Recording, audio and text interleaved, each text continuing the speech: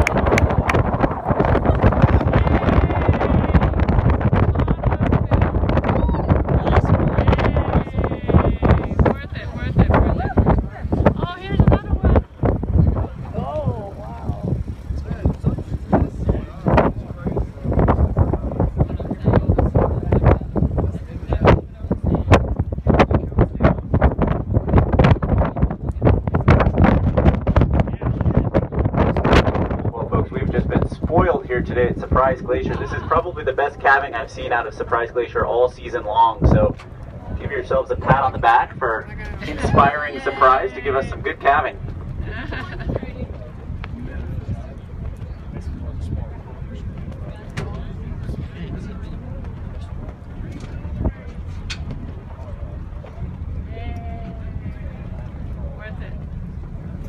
Now, folks, unfortunately, in just a few minutes, we're going to have to take off from Surprise Glacier. So